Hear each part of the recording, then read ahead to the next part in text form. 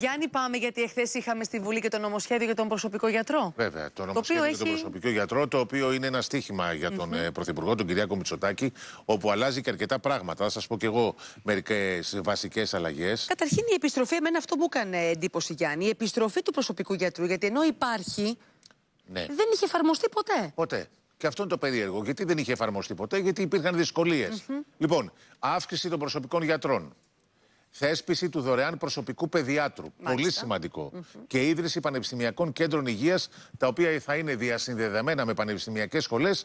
Αυτές είναι οι τρεις βασικές αλλαγές που ανακοίνωσε χθες ο Πρωθυπουργός και τις εξειδίκευσε ο Άδωνης Γεωργιάδης. Τώρα, να σας πω ότι υπάρχει ικανοποίηση στον κόσμο ε, των νοσοκομείων, ειδικά στους γιατρούς και το νοσηλευτικό προσωπικό. Μένει όμως να δούμε πώς θα εφαρμοστεί αυτό. Και είναι και θέμα εφημεριών, είναι θέμα αύξησης των αποδοχών. Ακριβώς. Και πώς θα Ζητήματα τα γίνει. οποία έχουν θέσει από τον κλάδο επιλεκτικά. Σωστά. Α, Πάμε... Ναι, ναι, παρακαλώ. Ολοκλήρωσε ή Ναι. θες κάτι. Ωραία. Πάμε να βάλουμε στην παρέα μας τον κύριο Ευάγγελο Τούλη. Είναι πρόεδρος Επαγγελματικής Ένωσης Παθολόγων Ελλάδος.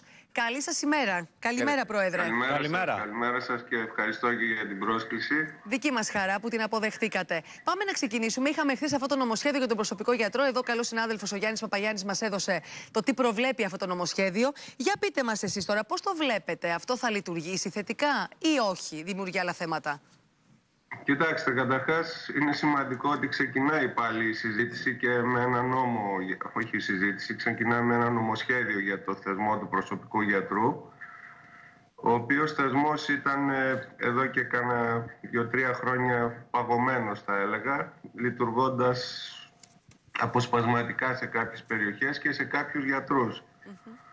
Ε, εδώ πέρα αυτό που βλέπουμε στο καινούριο νομοσχέδιο είναι ότι βαφτίζονται προσωπικοί γιατροί, πάρα πολλοί γιατροί σε αυτή τη χώρα, δηλαδή ε, γιατροί άνευ ειδικότητας, όπως οι αγροτικοί γιατροί. Η πρόταση η δική μας ήταν να γίνει αυτό σε περιοχές όπου δεν υπήρχαν γιατροί, ε, όπως σε ακριτικές περιοχές ή σε περιοχές ε, ορεινές, ε, βλέπουμε ότι βαφτίζονται προσωπικοί γιατροί ειδικευόμενοι των νοσοκομείων σε πολλές περιπτώσεις. Οι γιατροί των νοσοκομείων, οι παθολόγοι, ε, αυτό δεν νομίζω ότι είναι- είναι ένα πρόβλημα που υπήρχε στους αριθμούς, δηλαδή είναι μια προσπάθεια κάλυψης όλου του πληθυσμού με δωρεάν γιατρούς, σεβαστό, αλλά δεν θα λύσει το πρόβλημα της πρωτοβάθμιας, κατά τη γνώμη μας.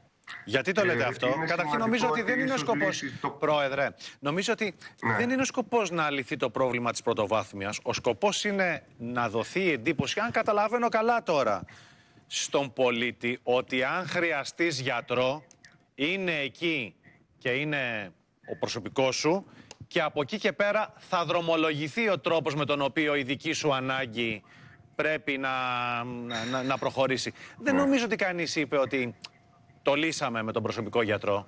Ακριβώς. Το βασικό είναι, ήταν να γίνει μια αντιστοίχηση όλου του πληθυσμού σε ένα γιατρό. Αυτή είναι και η ελπίδα του Υπουργείου και όλων μας ίσως.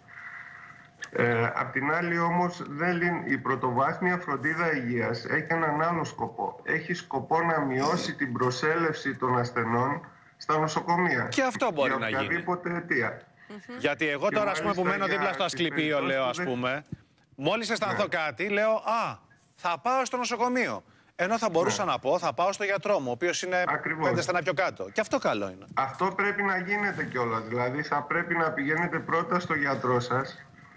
Ε, θα πρέπει να υπάρχει βέβαια και ένα σύστημα ίσως εφημέρευσης ή και- τοπικών κέντρων υγείας τα οποία να καλύπτουν το επίγον σε, της πρωτοβάθμιας φροντίδας υγείας και να γίνεται μια πρώτη αντιμετώπιση ή στα ιατρία μας ή στα αυτά τα αστικού τύπου κέντρα υγείας. Μάλιστα.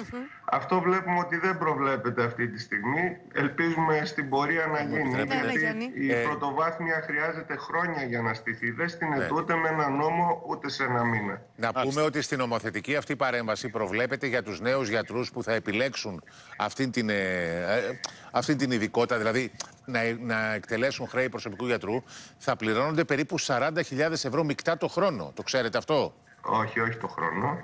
Αλλά τι; Αλλά, Τα 40.000 ευρώ είναι ένα μπόνους Ναι. για τους ε, ειδικευόμενους. Αυτό θα το πάρουν στη διάρκεια των 5 ετών που διαρκεί η ειδικότητα. Ναι. Και θα είναι ένα μπόνους για να διαλέξουν την ειδικότητα της παθολογίας 40.000 ευρώ ή της μεικτά. γενικής ιατρικής. Για Μάλιστα. πέντε Για πέντε χρόνια, χρόνια δηλαδή, 40.000 θα παίρνουν το χρόνο όμως; Όχι. Όχι, συνολικά. Όχι, όχι. Είναι Άρα σε 40.000 πέντε χρόνια, μπόνους. άρα, άρα δηλαδή 8.000 8.000 το χρόνο. ευρώ μεικτά. 8.000 το Το χρόνο. χρόνο. Το πρόβλημα όμως δεν είναι Το στο μπόνους. μπόνους. Ποιο είναι το πρόβλημα, είναι για πείτε μετά. μας, Πρόεδρε, να καταλάβουμε το Δηλαδή, πρόβλημα που έχετε. Εντάξει, πήραν την ειδικότητα της παθολογίας. Ποιες είναι οι προοπτικές αυτή τη συγκεκριμένη στιγμή; Πρώτον, στα νοσοκομεία βλέπουμε ότι οι παθολόγοι είναι πλέον ελάχιστοι και σε πάρα πολλά νοσοκομεία έχουν διαλυθεί κυριολεκτικά παθολογικές κλινικές, οι οποίες υποστηρίζονται από γιατρούς άλλων νομών, με αποτέλεσμα να αρχίζουν να πάσχουν και εκείνες οι παθολογικές κλινικές, δηλαδή αυτές που υποστηρίζουν τις ήδη ε, πολύ προβληματικές. Αυτό δεν γίνεται. Δεν, είναι κάτι που επιβαρύνει πάρα πολύ, ειδικά τους παθολόγους στο, στα νοσοκομεία, χωρίς να υπάρχει κάποια οικονομική, ε, μια βελτίωση των, των αποδοχών ή κάτι έξτρα, ας πούμε, σε όλα αυτά. Άρα δεν πέραν υπάρχει το των, οικονομικό ε, κίνητρο, λέτε, για να μπορέσει Καταργείται κάποιος. δεν όμως το υπάρχει λεγόμενο οικονομικό αγροτικό. κίνητρο. Οι μισθοί Ναι. παραμένουν καθυλωμένοι.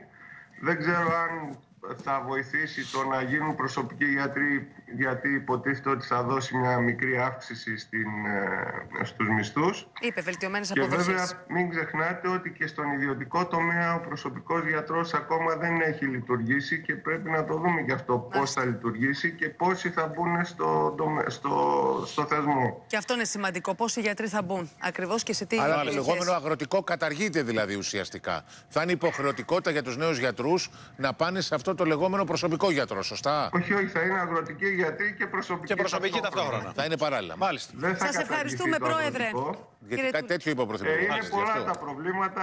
Θα έχουμε την Θέλει ευκαιρία να τα μεγάλες ξαναπούμε και σε κάποια Ήθελα- άλλη μας όχι, Ήθελα συνάντηση. μόνο να κάνω μια επισήμανση. Ελάτε Και να και ολοκληρώσουμε Σαν- με αυτό. Σαν παθολόγοι, όταν, παρόλο που κάναμε πολλές προτάσεις στη διαβούλευση, παρόλο που ήμασταν στις πρώτες συζητήσεις που γίνανε για τον προσωπικό γιατρό, στην Επιτροπή Υποθέσεων της Βουλής απουσιάζαμε. Υπήρχαν μόνο γενικοί γιατροί και παιδίατροι. Για δεύτερη φορά γίνεται αυτό. Και νομίζω ότι αυτό αποτελεί και μία απαξίωση για την ειδικότητά μας, πέραν των υπολείπων. Ε, ήθελα Δεν υπήρχαν να παθολόγοι, εκφράσω τη λέτε. διαμαρτυρία μου εδώ πέρα Σαν, δημοσίως. σαν, Να σαν πούμε. δικαιολογημένο μου Σας φαίνεται το ευχαριστώ για την παράπονο. πρόσκληση, Σίγουρα. πάντως. Δηλαδή, Γιατί να μην Ακριβώς, γιατί να μην πραγματικά. υπάρχει και κάποιος Η πιο γνωστή είναι- και η πιο δεν πολυπληθής υπήρχε κανένας δραστηριότητα παθολόγος και ειδικότητα. Στην Επιτροπή Υποθέσεων της Βουλής. Ψάξτε είναι και η το, δεύτερη αν φορά. θέλετε. αν δεν φωνάζει παθολόγο, ε, σε αυτές τις περιπτώσεις τι φωνάζει ομοιοπαθητικό; Ε. Μήπως το πήγαν στη Σας γενική ευχαριστούμε. χειρουργική; Όχι, κύριε είχε Τούλη. γενικούς γιατρούς και ένα παιδίατρο. Μάλιστα. Σας ευχαριστούμε πάρα Ευχαριστούμε. πολύ την καλημέρα Εγώ μας. σας ευχαριστώ. Ευχαριστούμε, συνάδελφοι. Ζαχαρία, σε ευχαριστούμε πάρα Ευχαριστούμε, πολύ. Ζαχαρία.